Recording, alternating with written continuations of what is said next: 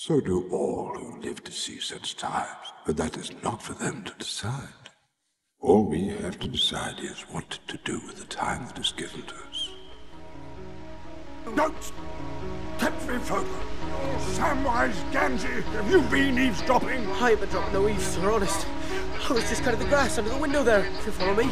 A little late for trimming the verge, don't you think? Fool of a Took! Throw yourself in next time, rid us of your stupidity.